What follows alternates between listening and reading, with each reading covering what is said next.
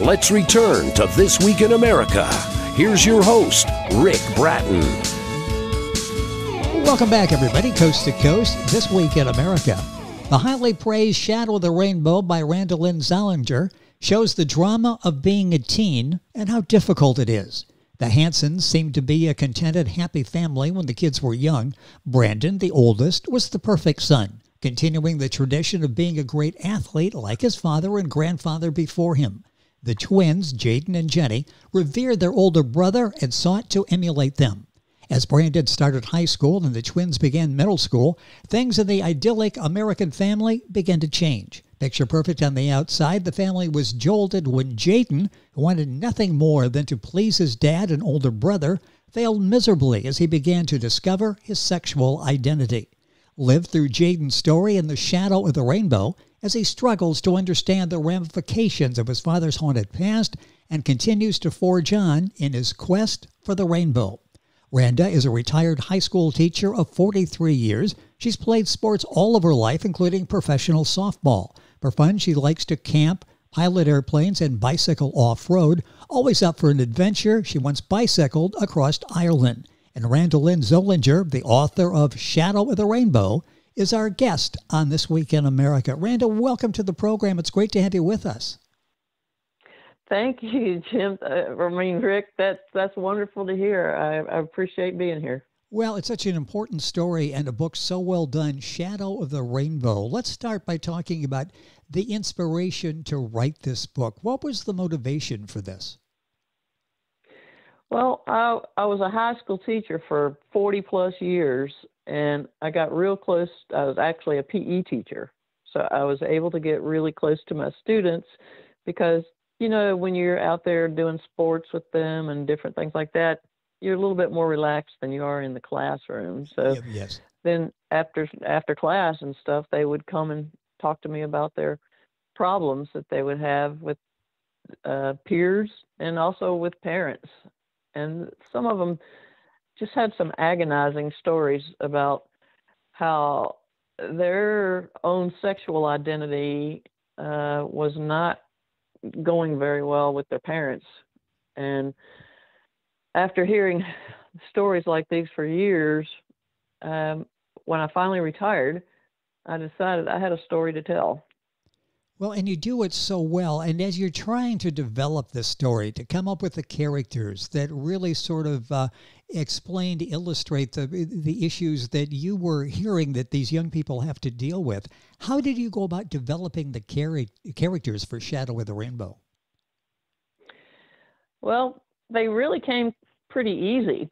I have an older brother who played sports, and Brandon is the perfect older brother and Brandon teases his younger siblings, and my brother teased me. Um, but um, Brandon was a perfect out- athlete, which um, you know, just in how the way I feel about things. Uh, you know, I love athletes, but um, the twins. My grandmother had twins uh, when that were died prematurely, but I've always had a, a preoccupation with twins because of that, and I've been interested in them. So, and then I have known lots of boy girl twins, and every pair of twins, boy girl twins that I have personally known, the boy has turned out gay. And, you know, I thought that was fairly interesting. That's not any kind of statistic, but, right. you know, it, it was uh, something that I've noticed in several, several cases. So Jenny and Jaden became my perfect um, perfect representation of my idea about that. Well, the story unfold, un, unfolds in Shadow of the Rainbow. Randa Lynne Zollinger is our guest on the program, Z O L L I N G E R. Book published by Stratton Press, their website, stratton press.com, a place to find the book, uh, other places as well.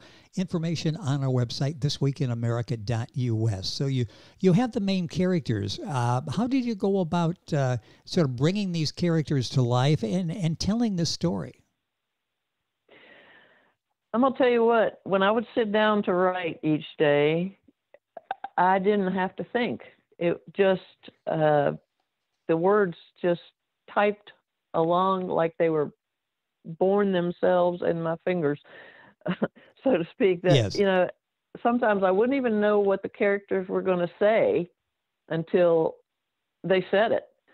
Um, and I've, I've taken some of my previous adventures or things that I have heard other people do and fun things in life and incorporated that in the book um, so that you know they had different things to do. Like i had jade and jenny go to uh, young people's theater and i was in children's theater when i was growing up so i had an idea what that was about. And in young people's theater it was the first place that jaden had any place to learn any self-esteem for himself. You know it wasn't competitive like sports and uh, it, he just was very fulfilled and then he met his very first romantic partner at that time although he had no idea what was going on. You know he just had no idea what was going on This all is in Shadow of the Rainbow by Randa Lynne Zollinger, our guest on This Week in America. Uh, what is the, the target audience for this? And I say that knowing that, boy, this is a book for young adults, a book for parents to read as well. Who do you see as the, the audience? Was there an intended audience as you were writing Shadow of the Rainbow? when i first started writing it i was definitely thinking it was a young young people's book but as i wrote it and it finished then i realized that parents uh, Yes. would really benefit from reading it. And then i had a lot of my contemporaries read my book and they loved it. So you know I, it it's suitable for older people to read but it's definitely out there for parents. And and I hope some kids can get some benefit out of it and you know try to uh, learn that you know maybe sometimes they could go to their parents or maybe their parents could learn you know I need to pay, pay more attention to my child because they're struggling and I need to know you know find out why The book, and as- I'm reading the reviews, so many are saying, I hope there's a sequel. Are you planning a, a second or third version of the story, a, a, an ongoing series? Actually, there is a sequel already. It's called um, Promise of the Rainbow, um, and it's it's done, and uh, it picks up on the family's life when the twins are in eighth grade and Brandon's in eleventh grade, and um, it it continues their struggles and their uh, triumphs, so to speak, through that book. And then I started a third one, but I haven't haven't gotten through it. You know how life gets in the way yes, sometimes. yes. well, the the two books, are, and this one is so well done. Shadow of the Rainbow. Randa Lynne Zollinger is uh, is our guest on the program. Book at stratton-press.com, the usual places. Information on our website, thisweekinamerica.us. You really have seen this firsthand. Again, as you mentioned, 42 years in the classroom, substitute teaching, I understand, for 10 years. What changes over all those years, all of those decades, have you seen in, in gay students? Uh, have you seen dramatic changes? Yes, I have. Um, you know, back in the '60s, I'm I just started teaching in '68, and back in the '60s, no one was out, and no one would dare be out, and you know, it, it wasn't ever talked about. And you know, I may be naive, but I don't know if kids even know, knew that much about it back then. And then in the '70s, uh, through the years, I would see the, the occasional guy, a boy that, you know, you knew he was gay or he was going to be gay, you know, and I try to, to try to lean towards him and make him feel good about himself and, and help him if he was struggling at all. But in the middle of the 70s, that's when Title IX was passed and they started girls' sports, you know, across the board Uh, in yes. schools. So then a lot of girls started playing sports, and then I noticed more gay girls a lot in the 80s. Um, not that all sports girls are gay by any means, but Right. there are a lot of gay girls that find an outlet in sports. And then uh, in the 90s or the 200, 2000s, probably more than ever, more and more people were accepting of being gay themselves and of seeing gay people around them. Um, and I would see girls, you know, walk through the hall holding hands, or walk each other to class, or maybe give each some, you know, each other a peck on the cheek when they would leave each other to go into the classroom. Um, and I didn't really see boys do that, but I would notice some boys that were just, you know, out and loud, you know, proud about it, but not too many. More of them were withdrawn. It seems like it's easier for girls than for boys. With us on the program is Randa Lynne Zollinger. She is the author of Rainbow uh, Shadow of the Rainbow, book published by Stratton Press. Their website is stratton-press.com. Book available, of course, wherever books are sold. You've seen this firsthand. What do you think is the impact on siblings of gay kids? And you you illustrate that in the book with Brandon and with uh, uh, the twin sister uh, uh, Jenny. What is the impact on on siblings? Uh, a lot of times with the boy and the girl siblings twins um, the girl is very supportive and protective of her brother and it's like the opposite of what you think brother and sister where the brother is protective of the sister. Uh, you know in this situation the sister is very protective of the brother. Um, but a lot of times they if it's especially if it's older siblings you know they're embarrassed if they have gay siblings, um, you know, and don't want to uh, admit it or be seen with them or, you know, have anything to do with them. But, you know, some siblings are protected because it's their family. And I've seen I've seen it both ways. Uh, you know, I don't, you know, he's my brother. I don't, I don't have anything to do with him. You know, he, he he's a fairy. But then uh, the others say, you know, come talk about my brother and I'll punch your face in. the book is so well done. Shadow of the Rainbow. Randa Lynne Zollinger is uh, is our guest on the program. Let's talk about uh, what makes this book different. I keep talking about the reviews, and the reviews are excellent. A lot of books have been written, attempted to uh, uh, to be written and published, uh, dealing with the topic, but yours is different. Why do you think Shadow of the Rainbow is different? I think it's different because it doesn't start in the middle of the teen angst. Uh, you know, poor Jaden had no idea as he was growing up why he didn't fit in with his family, but it started when he was four years old. My book started when he was four years old. And even at four years old, he felt different because he couldn't play sports like his sister and brother, and he really wasn't really even interested in trying. And he wanted to play house with his sister, which she willingly did, but she also wanted to play catch with her older brother. And um, he, thank goodness, he found a neighbor that lived across the street, an older lady that saw him struggling and invited him over and would talk to him, you know, like a grandmother would, um, but let him be open. And she taught him how to, you know, work in the garden and to taught him to give himself some self self esteem. And she taught him how to do some minor cooking. And he would go home and try to impress his dad. You know, look, Miss Bonnie told me how to cook this and how to set the table. And his dad was just roll his eyes and say, I don't need another girl in the family or something like that and just shatter him. But, you know, he knew that he wasn't accepted by his parents or his father at an early age. Um, and then he, he didn't even know what gay was. And as he grew uh, through the years, and was able to receive things, he would ask Miss Bonnie questions because he felt very comfortable with her. And she would answer his questions to the best of her ability for his age group.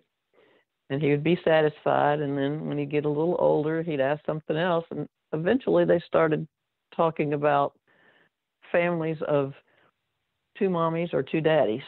And he was kind of getting more of an idea. The book is Shadow of the Rainbow. Randa Lynne Zollinger is our guest on the program, the author of the book. Stratton-press.com is uh, probably the best place to go. That's the publisher of the book. We'll have all this information on our website. Do you think the reaction of Jaden's parents to Jaden's sexual orientation is typical of, of the parents of, of gay kids? Is, is that typical, do you think? I'm afraid it's too typical. I had parents of my kids, uh, you know, that I taught that felt the same way. Although not all parents, some are a lot more supportive, but I'd say those are on the the minor side, um, and the ones that are not accepted accepting are, you know, on the majority. Um, but that's just an opinion of mine. You know, there's no statistics there, just from what I've been through. But you know, all kids need supportive parents.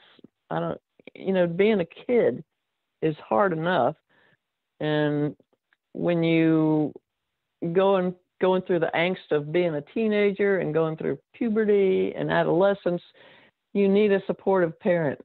And if you are uh, going through trying to find out what your sexual identity is in addition, then it's really rough for somebody that has no support.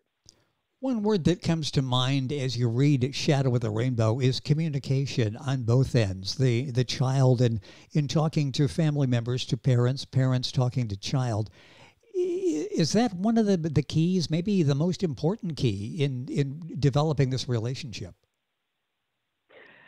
I think communication is the key to developing all relationships, but especially between a parent and a child. But sometimes a child just doesn't feel comfortable talking to their parent about it, um, and especially if a parent has kind of belittled them, you know, for the way they acted when they were young and knew no better, didn't know how to act to please dad or something like that, and then yes. it gets you makes you really reluctant to reveal anything about yourself. But communication is definitely the key, and if you can find someone like Jaden found Miss Bonnie, that you can talk to, then that can keep you from being one of those kids that goes out and commits suicide. Well, and that's interesting because that's a thought that goes through minds of, of the young people. I mean, Jaden was dealing with that as well. As well, talk about thoughts of, of suicide. Yes, you know that's the worst thing because these kids need to realize that this too will pass, but it doesn't seem like it when you are a teenager that anything that's horrible going on in your life is going to pass. And it takes some maturity to get through that stage of your life. And you really can't do that without some kind of support. So, one of the reasons I wrote the book was to try to spare some people some heartache to realize they're not alone in the way that they feel. And others out there like them and they can make it through. In promise of the rainbow you know jaden found that he could get through uh, a suicide attempt. And that maybe some parent could read it and see what their kid is going through that they're not realizing. And that you know, it's too late when they've already committed suicide and like, what did I do wrong? Why? What happened here? Try to approach their child before it gets too bad. A couple minutes left. Where the time has gone by so quickly. What what is your hope? The the result of your writing Shadow of the Rainbow and the the sequel to that and and people reading it. What do you hope the the takeaway is after people read your your series? Well, for one thing, I hope they, you know, enjoy reading the books because I write them the way I enjoy them, and I hope that it's enjoyable for them. But I hope they can take away the message that everybody deserves to be loved and considered. It doesn't matter if you're gay, straight, or purple. Everybody deserves consideration and to be heard and to be loved.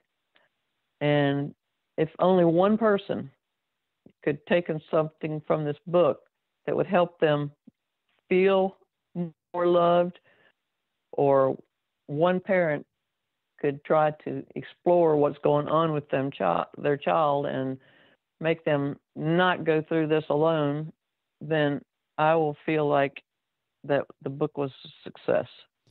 This book that we're talking about specifically today is Shadow of the Rainbow. The follow up is Promise of the Rainbow. The author is Randa Lynne Zollinger, that's Z O L L I N G E R, uh, published by Stratton Press, their website, stratton press.com. When do you think that, no pressure, but when do you think the third book might be out in the, uh, in the series? Well, you know what? I had an injury, so I got a little time now. So maybe I'll get back out there at the computer and try to get on it again because this, you know, th- that when you're down and out, sometimes that's the best time to get inspired. Well, we'll be looking forward to that, and thank you so much for being with us to uh, to talk about the books. And hopefully, we can do this again. And uh, it's a book that's so well written and touching. It's literally for the family. A child, uh, a young adult can learn from the book an eye opener for other family members, for parents as well. The book is Shadow of the Rainbow. Randa, thank you so much for being with us on the program. I hope you uh, continue to get well from the injury and uh, spend a little time at the uh, computer, and we can talk about book number three in the series. Thank you for being with us. Thank you so much, Ric, and it's been a pleasure talking to you. A pleasure having you here. A very important conversation, important book, Shadow of the Rainbow. Book available, stratton-press.com. You'll also find information on our website, thisweekinamerica.us. We're back on today's program after these messages. This Week in America is online. You can visit our website, thisweekinamerica.us. Scott Pinkerton, Associate Producer of This Week in America. Jay Anderson, Segment Producer. Ben Watson, Webmaster. Otto Bechet, Director of Engineering and TV Production. This Week in America produced and is a trademark of Blue Funk Broadcasting, LLC. For information on all of our guests and to listen to this week's show, our website again at thisweekinamerica.us. And I'm Sean Bratton, executive producer of This Week in America.